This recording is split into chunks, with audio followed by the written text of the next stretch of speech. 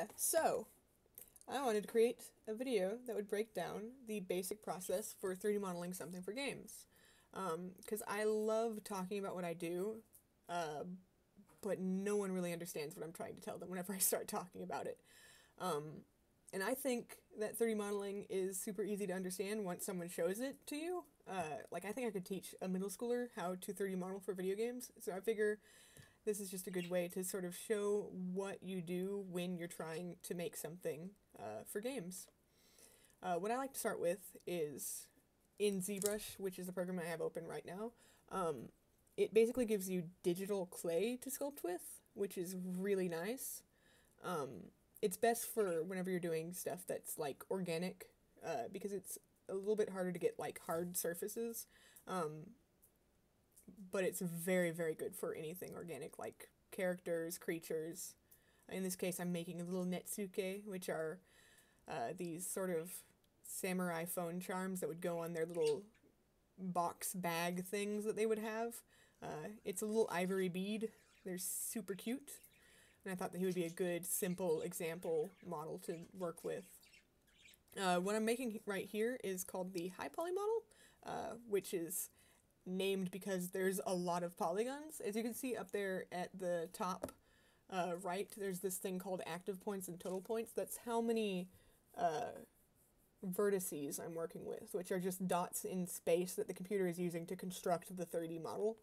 Um, and in ZBrush, you tend to be working with a lot more vertices than you would be with any other program. Uh, it allows you to make these very detailed, very pretty sculpts, uh, but they're not very good for video games or animation or anything like that because there's so much detail going on there that the computer is just upset. Um, computers don't like a lot of polygons. Like that's one of the reasons why if you have like an old computer and you try to run a current era game, you're going to have a lot of problems. It's just that as computers get better, the amount of polygons we try to put on a screen gets higher, but uh, ideally you want as few as possible to create the prettiest possible model. Um, but we still create the model that I'm doing right here, these high resolution ones, because you can create the low poly model from the high resolution ones, and then you can put that detail back in uh, using these things that are basically cheating called normal maps, which you'll see later on in the video. But yeah, as as you can see, it's just like regular sculpting, only done with a mouse.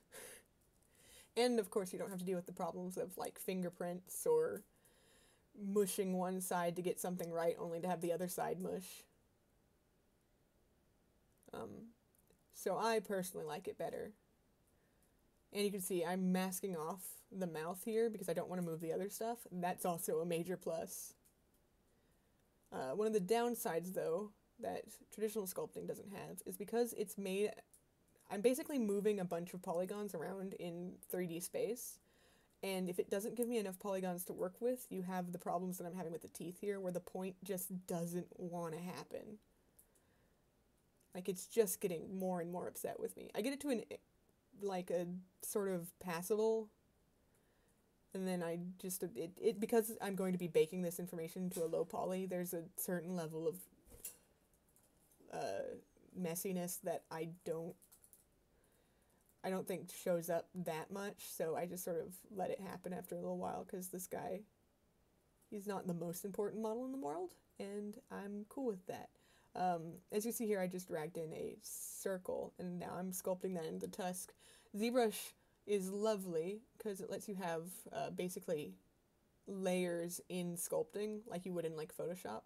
Um, and they're all separate, and I'm allowed to like zhuzh it without having to worry about the rest of the model especially when you uh, are sculpting in real life, if you like roll out a piece of clay and get it to look the way you want and then you stick it onto the sculpture you're doing, it's the same sort of idea. Fixing up those spikes. Those spikes looked good in the uh, drawing, but they were kind of hard to get into 3D space, which is a problem that happens a lot whenever you're working from a 2D reference. Waiting for the autosave there. Gotta love the autosave. My other favorite thing about ZBrush is if you see at the top, there's a slider called see-through that allows me to just make the window see-through so that I can uh, sculpt on top of whatever reference image I want, which I love. There's ways that you can put reference images in pretty much every 3D modeling software that I've worked with anyway. Um, but ZBrush is the easiest because it's just a slider. Like, you don't have to import anything, you just slide, fix whatever you're modeling, and then go back to work.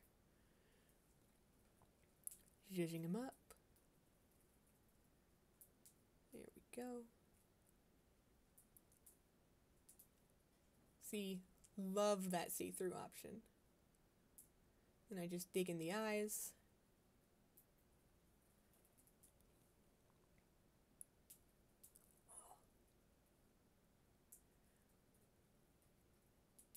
Just more zhuzhing. Once you get the basic shape down, it's just sort of wiggling polygons into place.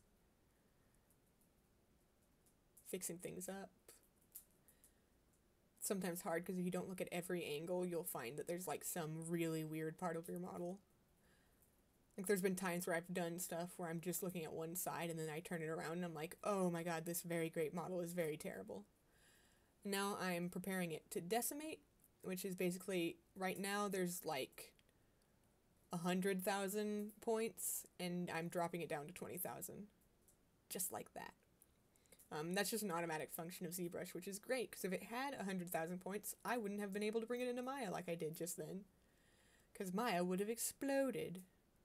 Um, now I'm doing the retopo process, which is basically I use the big model as a base to draw polygons on top of it um, in order to make a smaller model which is way better than like sculpting a low poly thing from scratch, in my opinion. Um, basically, yeah, I just you draw quads and tris all over everything. Uh, you never want to draw anything like you when you're doing a 3D model for video games, especially. You don't want anything that has more than four sides, uh, because computers hate those. I don't know why computers hate those, but uh, when it comes to retopologizing things, basically I'm doing everything to make computers happy. Uh, I'm making it lower poly so that things run faster. I'm making everything twi- tris and quads so things render properly. I don't have to know why that makes things better. I just gotta do it. Fixing up some problems with it. Getting in those tusks. There we go. And then I export that out and bring it into Substance. I also uh, unwrapped it in between there, but that video didn't want to um, be included. I did a bake and then realized that the tusk was baking into the face and it was making things look ugly, so I had to re-export it without the tusk, and now I'm baking it again. Basically what a bake does is it takes the high poly information and it puts it on your low poly model, which is really good because as you can see, this pig has teeth, but the low poly model uh, just has like a bent plane right there. Basically, your goal with the low poly model is to just get the silhouette, and then the bake comes in and adds in all of the details, and it bakes it to uh, the texture sheet that you can see on the uh, right there uh, which is just an unfolded 2D image, which is a lot easier for the computer to handle. Right now I'm just trying to use, uh, Substance is a great tool because it lets you sort of use a bunch of different filters and uh, special tools to put in detail for you. Um, and I'm just trying to get it to look like the ivory. As you can see, I'm using a bunch of filters. Uh, the filters will sort of put in dirt in the edges, which is very nice. Now I'm trying to put in the fur that was on my original drawing, uh, but did not translate well to 3D. Um, so I found a reference Netsuke that had similar fur patterns, and I just used that instead because it worked a lot better. Um, I'm also using, there's a cool feature of Substance that lets me paint in height information as I'm painting. Uh, so it digs in the etching for me. Um, and it's using the same thing that the bake does to uh, these things called normals that um, uses color information and a bunch of other stuff to make things uh, the computer render things as though they have depth that's not actually there. Uh, this is the normal map. As you can see, it looks wacky, uh, but that's the color information. I'm just fixing up some of the problems in the bake because it tried to bake the ear onto the body. there we go. That's fixed. I'm bringing things into Marmoset. Marmoset is basically uh, just a rendering engine. So it just gives me some lights and other nice things. As you can see, I'm playing with the lights. He's using some things, looking at him, seeing if he looks nice. Adding more lights. And there's my piggy. There's my little piggy Netsuke. Start to finish, not that complicated. Um, so hopefully if you didn't know how to 3D model before, now you have a better sort of idea of what it's like to create something for video games.